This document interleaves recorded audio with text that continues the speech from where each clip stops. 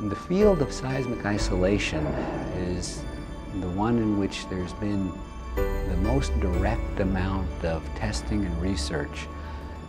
To use a seismic isolator allows an engineer to take control of how a building will respond to an earthquake. In a conventional design approach, we try to make the building strong enough and then we try to anticipate how that building will respond during a strong earthquake and try to have it not fall down.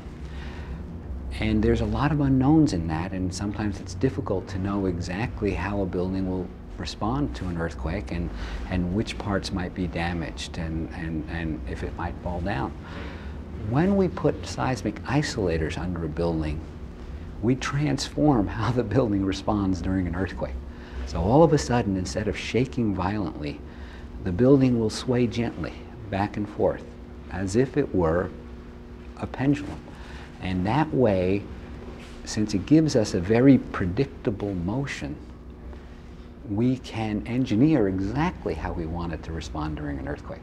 So now it's not really a matter of sort of accepting what would happen, but it's a, it's a question of taking control of what will happen. And therefore, we can dictate essentially any level of protection for a structure. If we have a very weak structure, we can put in bearings that will almost completely absorb all the earthquake shocks. And if we have a stronger structure, we can uh, put in smaller bearings that will, will, will serve the same purpose.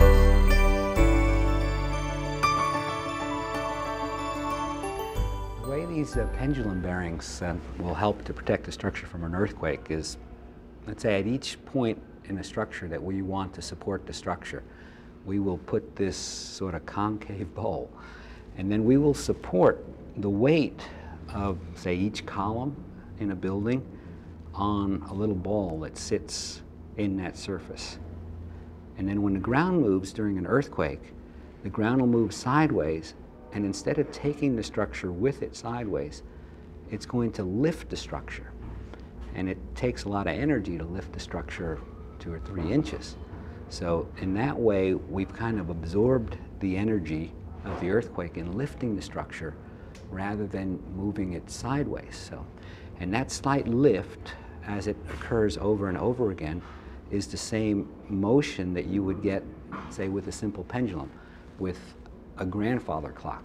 So that period that it moves back and forth is a constant period that depends only on the curve of that surface.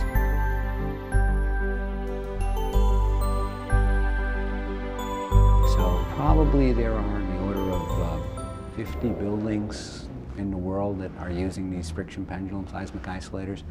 And they're all special buildings in some way, buildings that we wanted to protect for some reason, either because they were very important buildings to the operations of emergency services or historic structures like the Pioneer Courthouse.